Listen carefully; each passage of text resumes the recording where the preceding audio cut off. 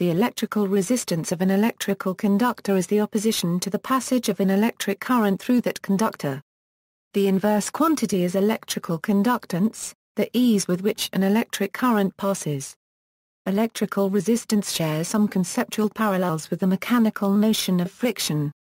The SI unit of electrical resistance is the ohm, while electrical conductance is measured in Siemens.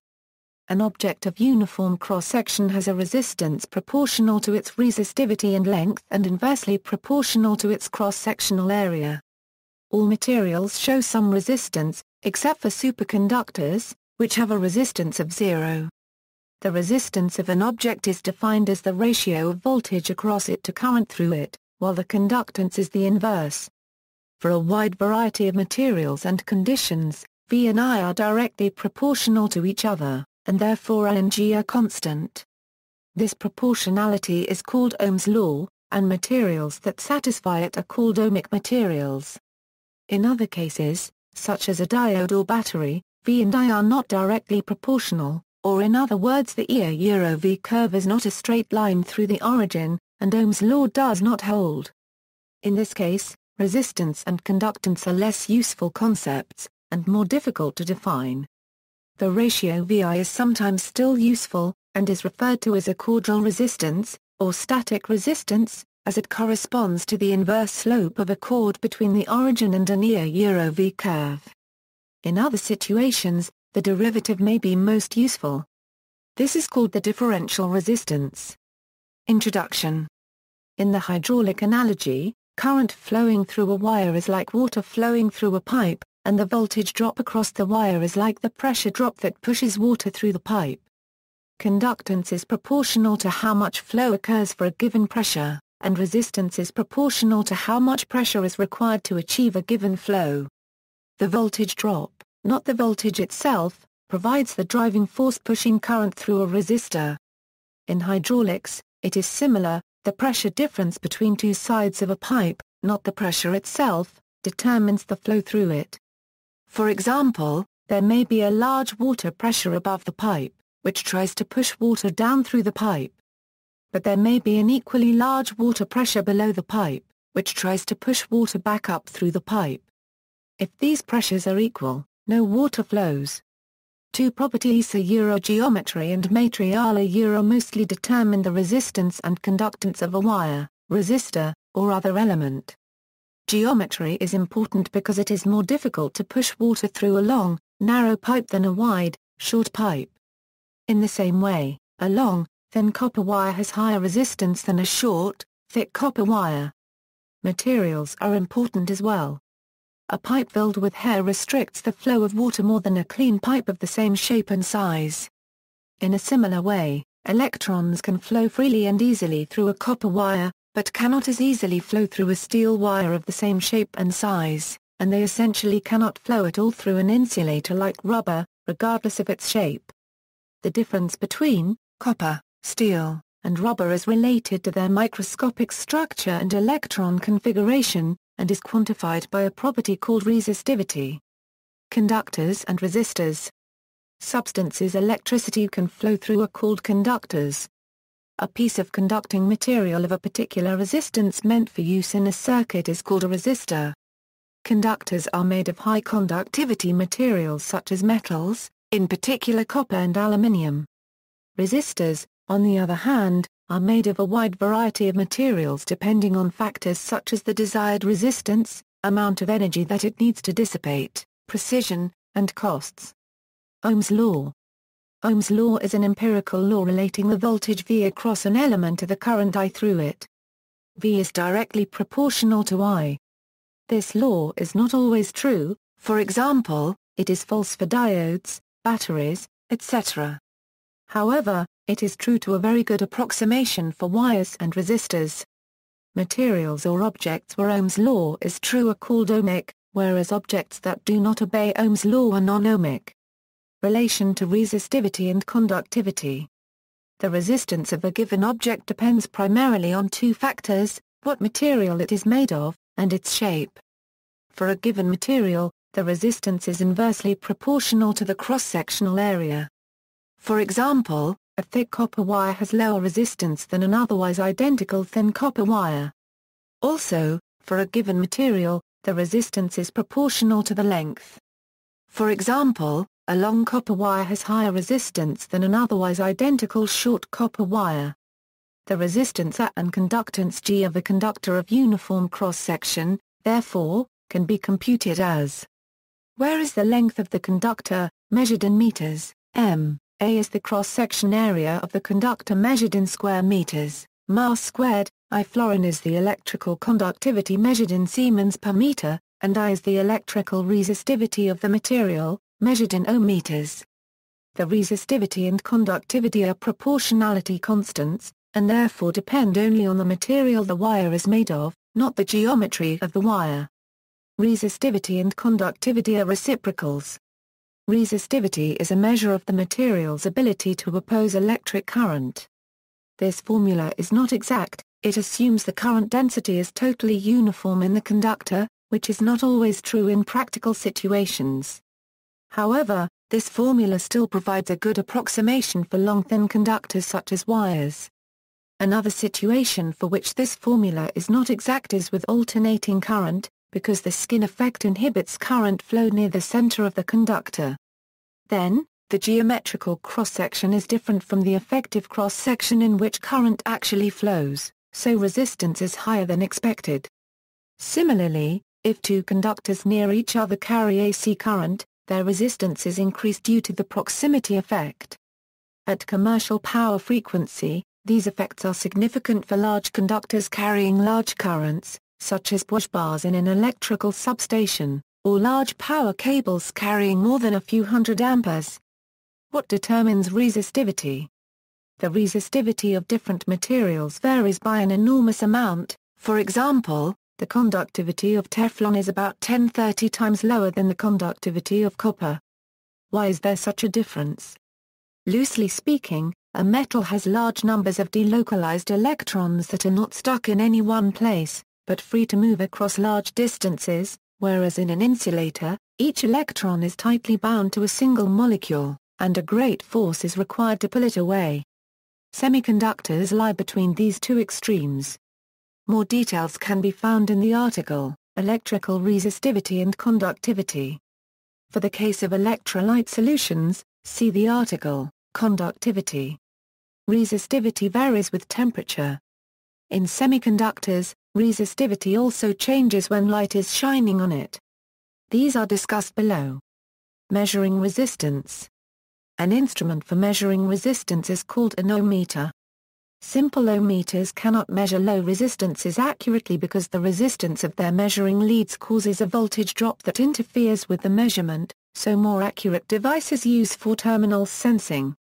Typical resistances Static and differential resistance Many electrical elements, such as diodes and batteries do not satisfy Ohm's law. These are called non-ohmic or nonlinear, and are characterized by a near-Euro V curve, which is not a straight line through the origin. Resistance and conductance can still be defined for non-ohmic elements. However, unlike ohmic resistance, nonlinear resistance is not constant but varies with the voltage or current through the device. Its operating point there are two types, static resistance, this corresponds to the usual definition of resistance. The voltage divided by the current. It is the slope of the line, chord from the origin through the point on the curve. Static resistance determines the power dissipation in an electrical component. Points on the IV curve located in the second or fourth quadrants, for which the slope of the chordal line is negative, have negative static resistance. Passive devices, which have no source of energy, cannot have negative static resistance. However active devices such as transistors or op-amps can synthesize negative static resistance with feedback, and it is used in some circuits such as gyrators. Differential resistance Differential resistance is the derivative of the voltage with respect to the current. The slope of the IV curve at a point. If the IV curve is non-monotonic, the curve has a negative slope in some regions a euro so in these regions the device has negative differential resistance. Devices with negative differential resistance can amplify a signal applied to them, and are used to make amplifiers and oscillators. These include tunnel diodes, Gunn diodes, IMPATT diodes, magnetron tubes, and unijunction transistors. AC circuits, impedance and admittance. When an alternating current flows through a circuit, the relation between current and voltage across a circuit element is characterized not only by the ratio of their magnitudes, but also the difference in their phases. For example, in an ideal resistor, the moment when the voltage reaches its maximum, the current also reaches its maximum. But for a capacitor or inductor, the maximum current flow occurs as the voltage passes through zero and vice versa. Complex numbers are used to keep track of both the phase and magnitude of current and voltage. Where t is time, v, t, and i, t, r, respectively, voltage and current is a function of time, vo, io, z, and y are complex numbers, z is called impedance, y is called admittance, re indicates real part, is the angular frequency of the AC current, is the imaginary unit the impedance and admittance may be expressed as complex numbers that can be broken into real and imaginary parts. Where L and G are resistance and conductance respectively, X is reactance, and B is susceptance. For ideal resistors, Z and Y reduce to A and G respectively, but for AC networks containing capacitors and inductors, X and B are non-zero. For AC circuits, just as for DC circuits, Frequency dependence of resistance Another complication of AC circuits is that the resistance and conductance can be frequency dependent. One reason, mentioned above is the skin effect. Another reason is that the resistivity itself may depend on frequency, energy dissipation and Joule heating. Resistors oppose the flow of electric current. Therefore, electrical energy is required to push current through the resistance. This electrical energy is dissipated, heating the resistor in the process. This is called Joule heating, also called ohmic heating or resistive heating. The dissipation of electrical energy is often undesired, particularly in the case of transmission losses in power lines. High voltage transmission helps reduce the losses by reducing the current for a given power. On the other hand, Joule heating is sometimes useful, for example in electric stoves and other electric heaters.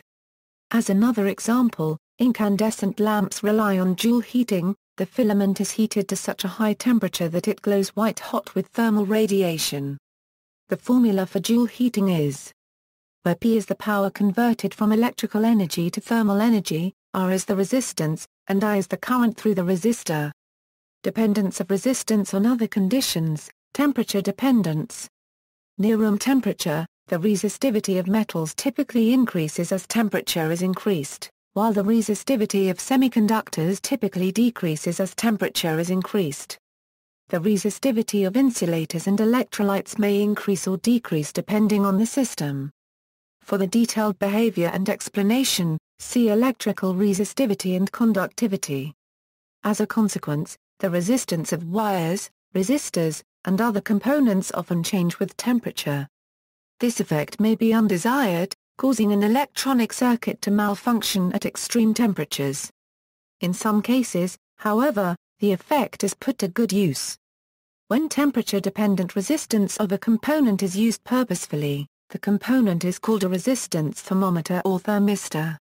Resistance thermometers and thermistors are generally used in two ways. First, they can be used as thermometers. By measuring the resistance, the temperature of the environment can be inferred. Second, they can be used in conjunction with Joule heating, if a large current is running through the resistor, the resistor's temperature rises and therefore its resistance changes. Therefore, these components can be used in a circuit protection role similar to fuses, or for feedback in circuits, or for many other purposes. In general, Self-heating can turn a resistor into a nonlinear and hysteretic circuit element. For more details see thermistor self-heating effects. If the temperature T does not vary too much, a linear approximation is typically used. Where is called the temperature coefficient of resistance, is a fixed reference temperature, and is the resistance at temperature. The parameter is an empirical parameter fitted from measurement data. Because the linear approximation is only an approximation, is different for different reference temperatures. For this reason it is usual to specify the temperature that was measured at with a suffix, such as, and the relationship only holds in a range of temperatures around the reference. The temperature coefficient is typically plus 3A, 10 or 3 Ca 1 to plus 6A, 10 or 3 Ca 1 for metals near room temperature. It is usually negative for semiconductors and insulators, with highly variable magnitude. Strain dependence Just as the resistance of a conductor depends upon temperature, the resistance of a conductor depends upon strain. By placing a conductor under tension, the length of the section of conductor under tension increases and its cross-sectional area decreases. Both these effects contribute to increasing the resistance of the strained section of conductor. Under compression, the resistance of the strained section of conductor decreases. See the discussion on strain gauges for details about devices constructed to take advantage of this effect. Light illumination dependence. Some resistors, particularly those made from semiconductors, exhibit photoconductivity, meaning that their resistance changes when light is shining on them. Therefore they are called photoresistors. These are a common type of light detector. Superconductivity Superconductors are materials that have exactly zero resistance and infinite conductance, because they can have V equals zero and E per mol zero. This also means there is no Joule heating, or in other words no dissipation of electrical energy. Therefore, if superconductive wire is made into a closed loop, current flows around the loop forever. Superconductors require cooling to temperatures near 4 kelvins with liquid helium for most metallic superconductors like NBSN alloys, or cooling to temperatures near 77 kelvins with liquid nitrogen for the expensive, brittle and delicate ceramic high-temperature superconductors. Nevertheless, there are many technological applications of superconductivity, including superconducting magnets. See also References External links, The notion of electrical resistance. Review of the equations that determine the value of electrical resistance. Clemson Vehicular Electronics Laboratory, Resistance Calculator.